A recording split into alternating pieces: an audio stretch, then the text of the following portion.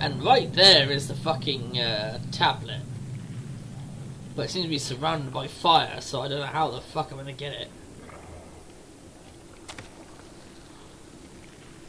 I highly doubt jumping's gonna work, but can't blame me for trying, can you? Nope. Fucking dead. I don't think that was gonna work, but you know what? You can't blame me for trying. Right, so.